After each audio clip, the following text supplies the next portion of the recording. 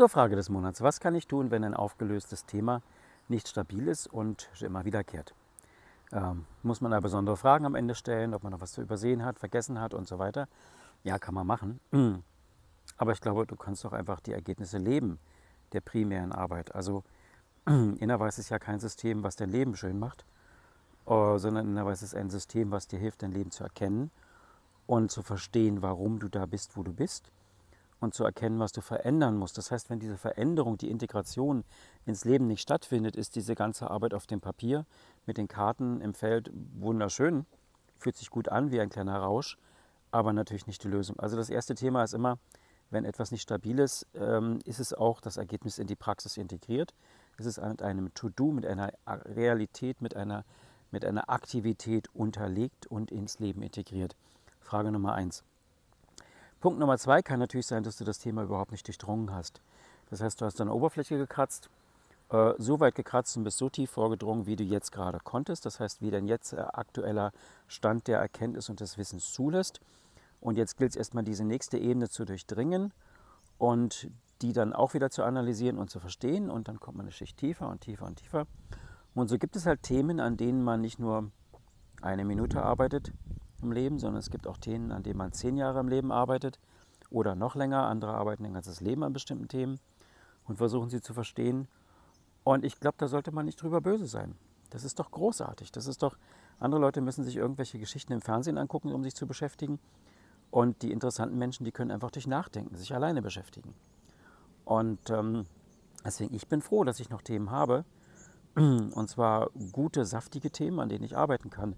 Weil sonst ist doch gar kein Erkennen mehr. Und da der Weg das Ziel ist und nicht das Ziel das Ziel ist, ähm, ist das gerade das Spannende. Also ich bin heilfroh, dass sich immer wieder neue Ebenen auftun und Dimensionen und deswegen es immer tiefer geht. Also Punkt Nummer zwei ist, bist du überhaupt in der Lage, alles zu erkennen?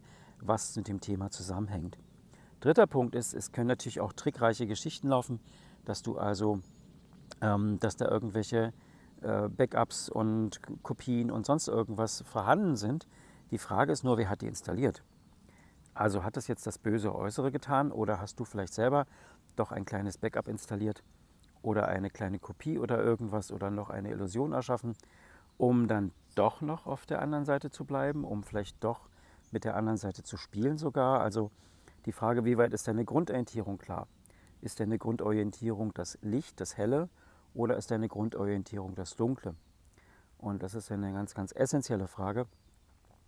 Äh, wo zieht es uns ganz unbewusst hin und welche Art von Erfahrung schaffen wir? Natürlich müssen wir immer wieder diese Welten vermischen, Licht und Dunkel, um zu erkennen. Aber die Frage ist doch, wo fühle ich mich primär zu Hause? Und gerade die Menschen, die sehr viel Schmerz erlitten haben, und das kann sogar schon vor der Zeugen gewesen sein als Seele. Ähm, es kann sein, die das, das, die das Vertrauen in das Lichte verloren haben und dass sie deswegen eher auf der dunklen Seite suchen. Natürlich unbewusst, nicht bewusst, ganz klar. Ähm, aber deswegen viel mehr von diesen Erfahrungen erschaffen als andere. Also auch eine Möglichkeit drittens. Wie ist deine Grundorientierung? Auf welcher Seite möchtest du lernen?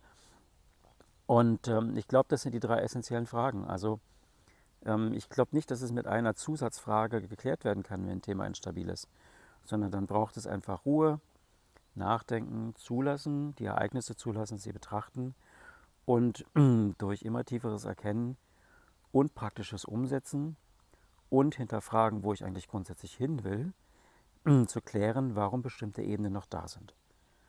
Also deswegen mit einer etwas größeren Gelassenheit zu sagen, okay, hat alles schon seinen Sinn, so wie es ist. Meine Aufgabe ist hier zu erkennen und nicht zu fixen. Und deswegen dürfen manche Themen ja vielleicht auch mal drei Jahre, fünf Jahre, zehn Jahre oder 20 Jahre brauchen, bis wir sie verstehen.